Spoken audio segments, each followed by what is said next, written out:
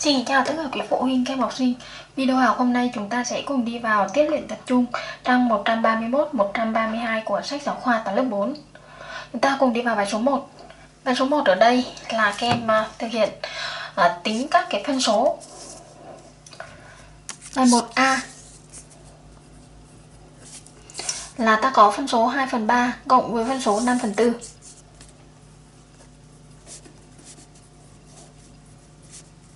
Hai phân số này có mẫu số khác nhau thì các em phải đi quy đồng mẫu. Và các em đưa về mẫu số chung. Mẫu số chung ở đây sẽ là 12 thì à, toàn bộ phân số thứ nhất các em nhân cả tử và mẫu với 4 phân số thứ hai các em nhân cả tử và mẫu với 3 để đưa về mẫu số chung là 12 ta có 2 x 4 bằng 8 3 x 4 bằng 12 cộng với 5 x 3 bằng 15 4 x 3 bằng 12 cộng hai phân số cùng mẫu số. Đến đây hai phân số này cùng mẫu số là 12 rồi. Kem lấy tử số cộng với tử số, giữ nguyên mẫu số. Vậy ta có 8 cộng với 15 bằng 23 kết quả của ta bằng 23 phần 12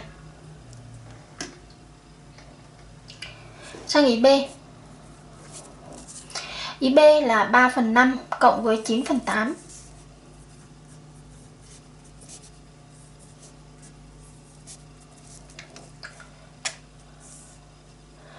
Muốn cộng hai phân số, hai phân số này cũng là hai phân số có mẫu số khác nhau. Kem đi quyền mẫu, mẫu số chung đây bằng 40. Toàn bộ tử và số mẫu của phân số thứ nhất kem nhân tử và mẫu với 8. Phân số thứ hai kem nhân cả tử và mẫu với 5. Thì ta có 3 x 8 bằng 24. 5 x 8 40 cộng với 9 x 5 45. 8 x 5 40. Hai phân số này cùng mẫu số rồi, các bạn cộng tử số với tử số giữ nguyên mẫu. Vậy 24 cộng với 45 thì bằng 69. Kết quả của ta bằng 69 phần 40. Tiếp tục chuyển sang ý C. Ý C ở đây là 3 phần 4 trừ 2 phần 7.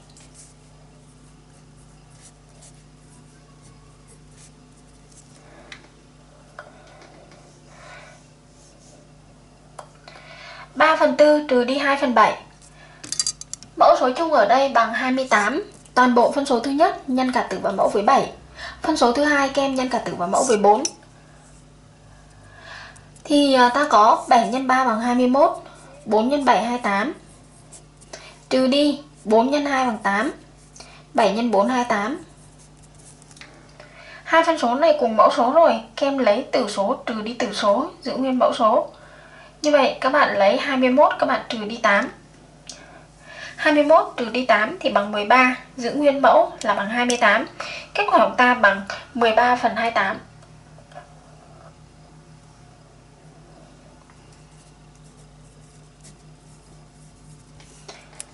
Sang ý tiếp theo, ý cuối cùng là ý D. 11 phần 5 trừ đi 4 phần 3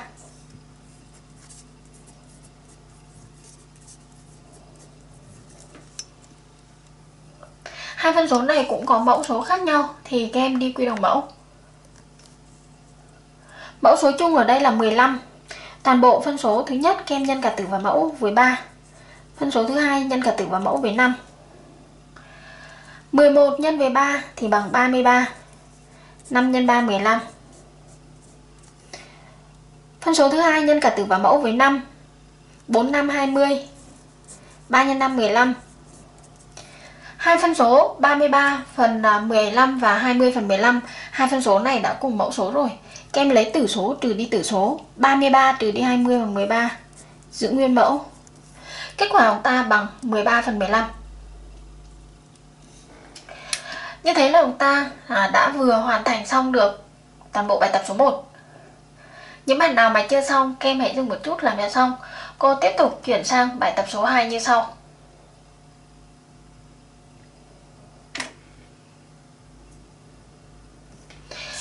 Bài tập số 2 à, cũng là tính.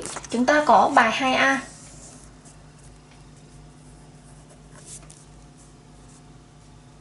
hai a là 4 phần 5 cộng với 17 phần 25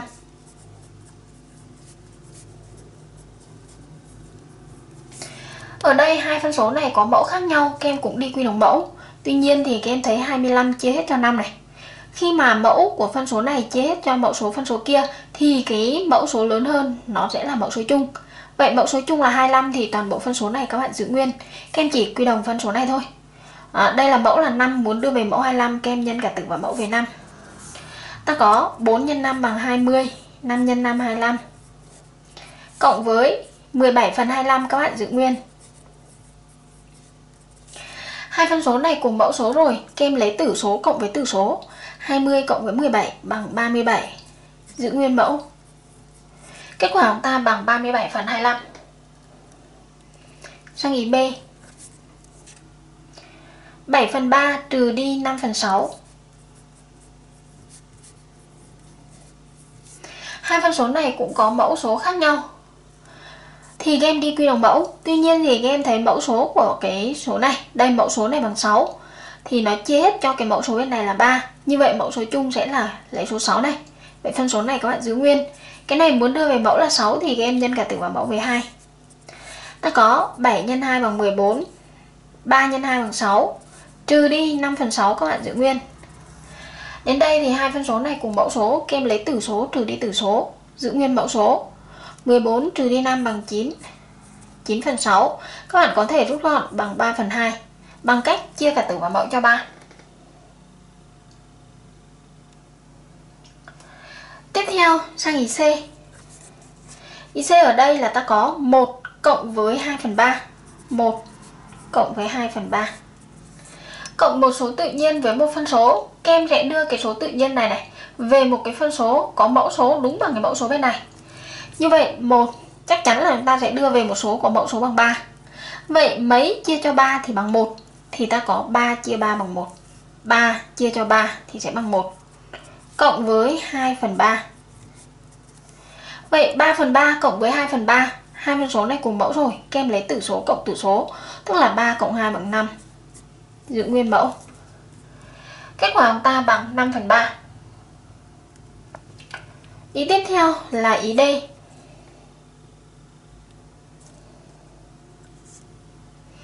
Chín phần hai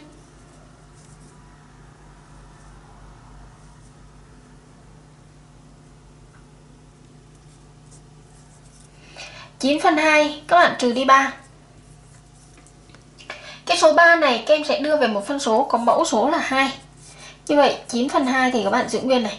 Còn 3 này các em sẽ đưa về một số, có mẫu số là 2 Mẫu số, đưa về phân số, sao cho có mẫu giống mẫu số bên này? Như vậy 3 mấy chia cho 2 thì bằng 3 Thì ta có 6 chia cho 2 thì sẽ bằng 3 Như vậy, đây 9 phần 2 này. Đấy, trừ đi này. Cái này chính là số 3 ở đây hai phân số này cùng mẫu số kem lấy tử số trừ tử số. 9 trừ đi 6 bằng 3 giữ nguyên mẫu. Kết quả của ta bằng 3 phần 2 xong, bài tập số 2 những bạn nào mà chưa xong, kem hãy dừng lại, tiếp tục làm cho xong. Bây giờ chúng ta sẽ chuyển sang bài tiếp theo, là bài tập số 3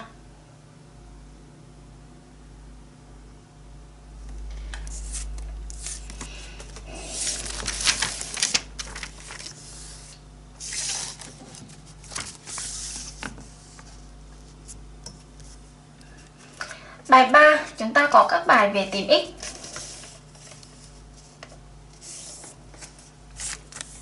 ba a.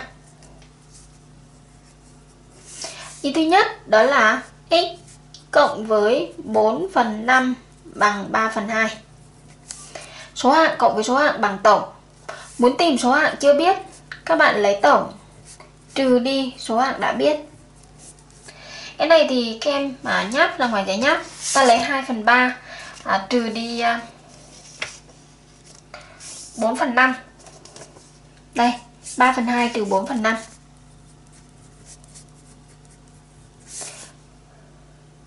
Mẫu số chung ở đây sẽ là bằng 10 Như vậy toàn bộ phân số này nhân với 5 Toàn bộ phân số này nhân cả tử quả mẫu với 2 Cái này chúng ta đang nháp nhá. 3 x 5 15 này. 2 x 5 bằng 10 này. Trừ đi này 4 x 2 bằng 8 này 5 x 2 bằng 10 Như vậy, bằng 7 phần 8 Kết quả bằng 7 phần 8 À xin lỗi các bạn 7 phần 10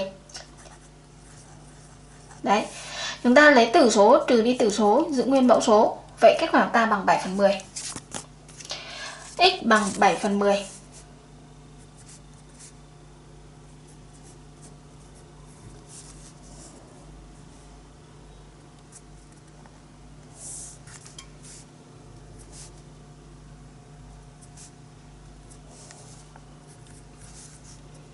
Sang ý B. X trừ đi 3 phần 2 bằng 11 phần 4 Ta có số bị trừ, số trừ, hiệu. Muốn tìm số bị trừ, các bạn lấy hiệu kem cộng với số trừ. Kem tính ra ngoài giấy nháp xem kết quả bằng bao nhiêu. Ta có 11 phần 4 cộng 3 phần 2 11 phần 4 cộng 3 phần 2 Mẫu số chung của ta sẽ là 4 Cái này, vì 4 chia hết cho 2 nên cô lấy mẫu số chung là 4 luôn. Toàn bộ phân số này nhân cả tử và mẫu với 2 11 phần 4 cô giữ nguyên. 3 phần 2 quy đồng lên thì bằng 6 phần 4 hai phân số cùng mẫu rồi. Các bạn lấy tử số cộng tử số giữ nguyên mẫu số. Kết quả sẽ bằng à 17 phần 4 như vậy chúng ta được kết quả là bằng 17 phần 4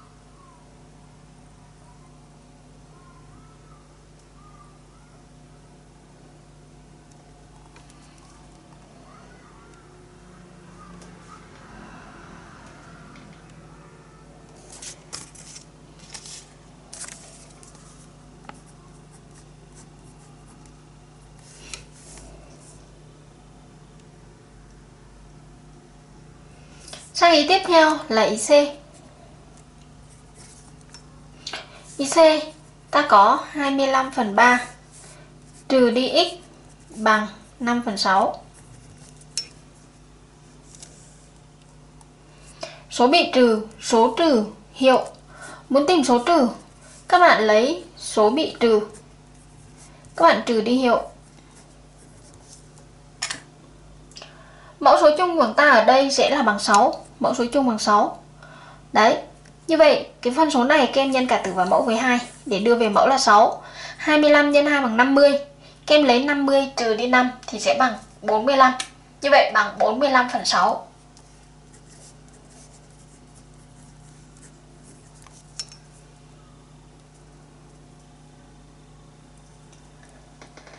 Tiếp tục, cô và các bạn sẽ chuyển sang bài tập số 4 những bạn nào mà chưa xong thì hãy dừng lại làm cho xong bài tập số 3.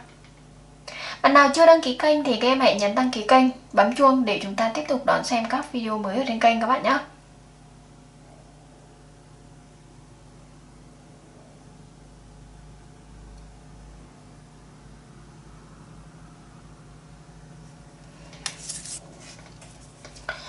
Sang bài tập số 4 như sau, yêu cầu các bạn tính bằng cách thuận tiện nhất thì ở đây các bạn sẽ áp dụng tính chất giao hoán và tính chất kết hợp của phép cộng để chúng ta thực hiện các cái phép toán này.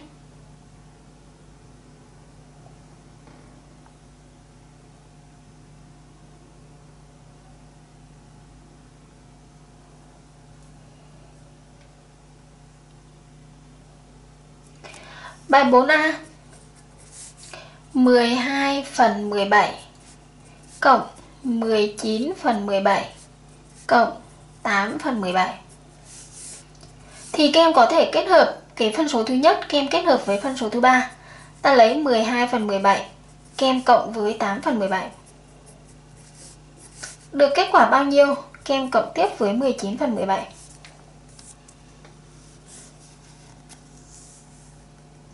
Vậy 12 phần 17 cộng với 8 phần 17 12 cộng với 8 thì bằng 20 20 phần 17 cộng với 19 phần 17 Kết quả chúng ta bằng 39 phần 17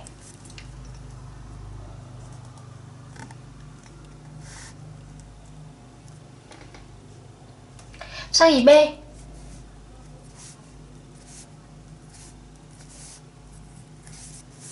Ý B ở đây là 2 phần 5 cộng với 7 phần 12 cộng tiếp với 13 phần 12.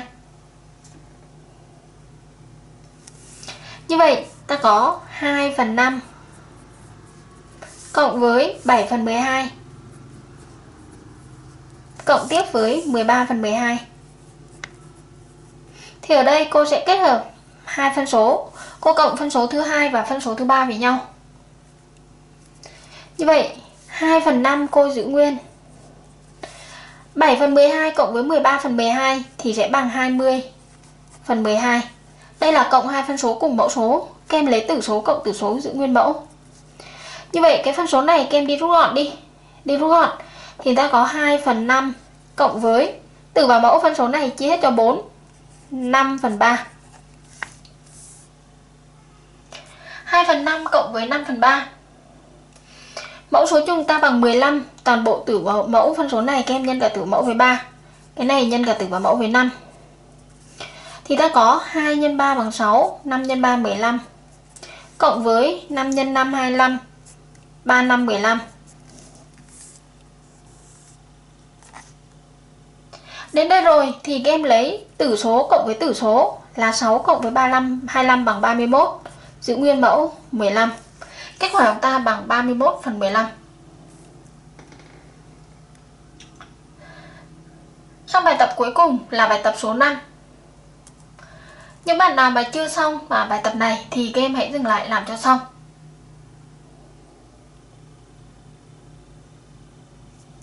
Sau bài tập tiếp theo, Bài tập số 5 là trong một giờ học tự chọn lớp 4A có 2 phần 5 học sinh thì chọn học môn tiếng Anh. 3 phần 7 học sinh thì à, chọn học môn tin học. Hỏi số học sinh học tin học và học tiếng Anh bằng bao nhiêu phần tổng số học sinh cả lớp. Như vậy, muốn biết là số học sinh tin học và học tiếng Anh chiếm bao nhiêu phần, Thì các bạn sẽ lấy số phần của học sinh học tin học, Chúng ta cộng với cái số phần của học sinh học tiếng Anh. Như vậy, chúng ta sẽ có như sau. Số học sinh học tin học và tiếng Anh bằng số phần tổng số học sinh cả lớp là hoặc là số học sinh học tin học. Số học sinh học tin học và tiếng Anh.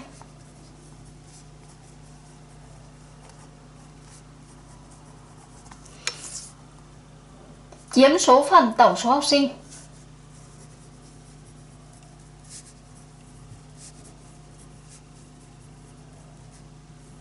Chiếm số phần tổng số học sinh.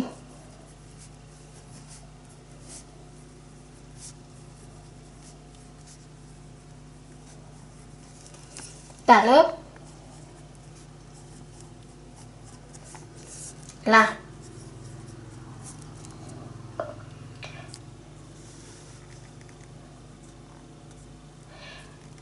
em sẽ lấy số học sinh học tin học, Số phần học sinh học tin học. Chúng ta cộng với số phần học sinh học tiếng Anh, Tức là lấy 2 phần 5 kem cộng với 3 phần 7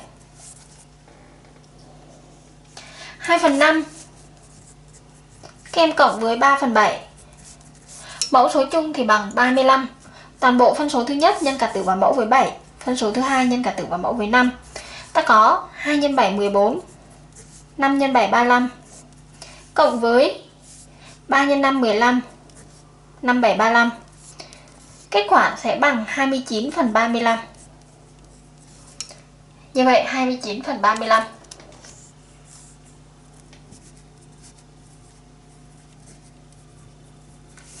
Số học sinh cả lớp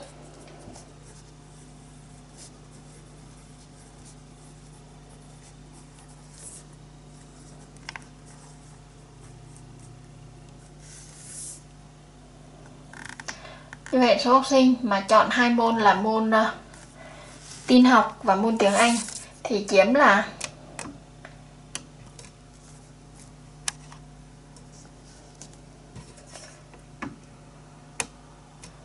chiếm uh, 9 29 phần 35 số học sinh cả lớp.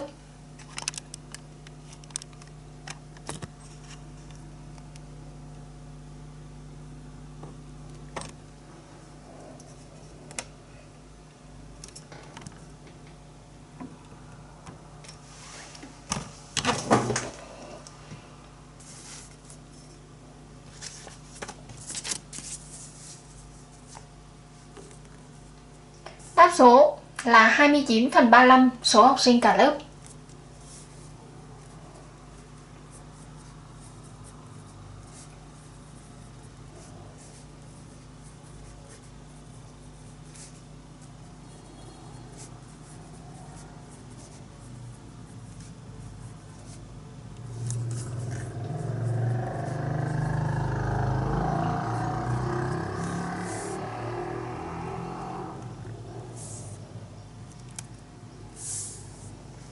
Như vậy là trên đây cô và các bạn đã à, vừa hoàn thành xong được à, toàn bộ các cái bài tập của phần luyện tập trung ở trang 131, 132 của sách giáo khoa toán lớp 4. Để tiếp tục đón xem các video miễn phí trên kênh, các em hãy nhớ nhấn đăng ký kênh và bấm chuông nhé. À, các bạn hãy à, giới thiệu bạn bè của em, chúng ta hãy vào à, YouTube rồi chúng ta gõ từ khóa là kênh Mít Hạnh để xem các video ủng hộ cho cô. Cảm ơn tất cả quý phụ huynh, các em học sinh đã dành thời gian theo dõi video bài giảng. Hẹn lại tất cả quý phụ huynh, các em học sinh ở các bài học tiếp theo.